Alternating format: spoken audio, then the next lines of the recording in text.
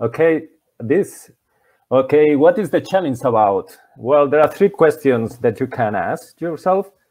What, how are the close contacts found? How is the coordination between the primary care centers, scouts, and system? How is a sick with or without symptoms person monitored? Slide. Okay, what is the challenge about? Well, this is the scheme, more or less, of how the close contacts are found. Well, the first thing is that a person with symptoms, okay, I have, I, I'm, I'm sick, so he, she called to the primary center, let me take it that out. And then the professional say, okay, you say you should stay home, okay, stay home, and then go to do a PCR test, uh, the primary uh, center, care center, and then once you get the, the test, it may be positive. Positive. What is then it's done uh, with this positive result? Okay, there is a person called Gestor COVID in the primary center uh, care center. It takes care of okay, you are positive. Please let me know what are your close contacts. Uh, usually familiar, maybe school, whatever. So if they are close to the primary care centers, already they program the, the PCR and they, they call them to do the PCR, but also introduce all this information in the system, okay? So this system take care of all the con, uh, all the close contacts. What is going on with these close contacts in the system? Okay, two or three days after, there are some people called scouts. Maybe you have listened about them. These scouts take care of all the close contacts, maybe close to the primary care uh, center, or maybe not. So they again call to everybody saying, "Oh, you are a close contact, so uh, please take care, stay at home, and then go to the uh, to do a PCR test uh, to the primary care center that is close to you to your place." So slate, please. What happens then?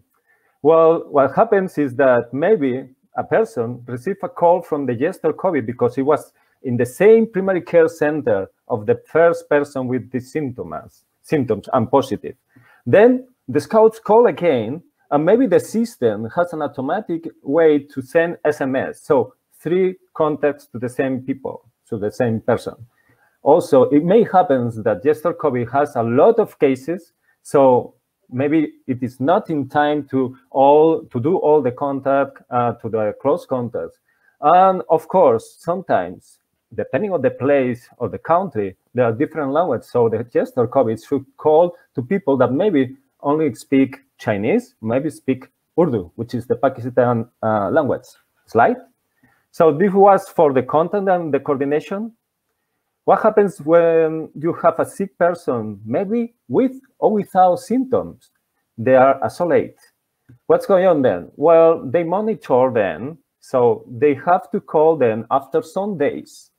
Then they say, hey, are you okay? Okay, fine. Uh, then after so few days more, are you okay? Yes, I'm, I'm fine. Okay, that's great. So uh, you have the green uh, flag and then you can go oh no, you have symptoms. Wait, wait, just stay home. Maybe you are doing online classes uh, in the campus, maybe, or, or you have some symptoms and this is not good. Go to the hospital. But in any case, there are many, many cases where they are asymptomatic and they are not, they are fine. So slide. Can you pass? Okay.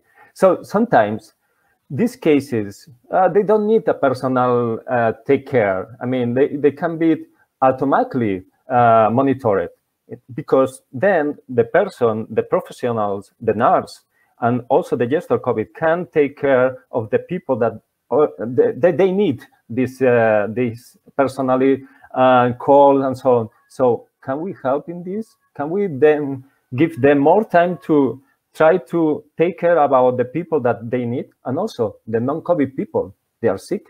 They need to take care of them as well. So slide. So how, how can we help to primary health care? Can we help Gestor COVID when she, she is saturated with a lot of cases?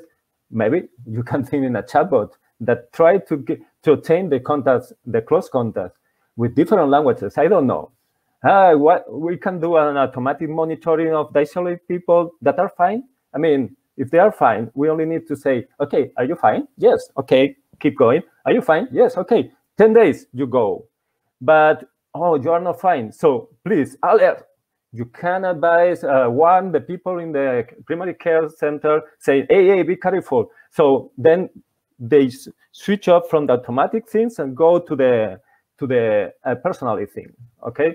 And finally, as you can see, maybe there are some different coordination. So can we create something integrated with the professionals of the primary care centers that can program the PCR, control the state anytime, but automatically say, okay, now we have a lot of cases, we can go automatically.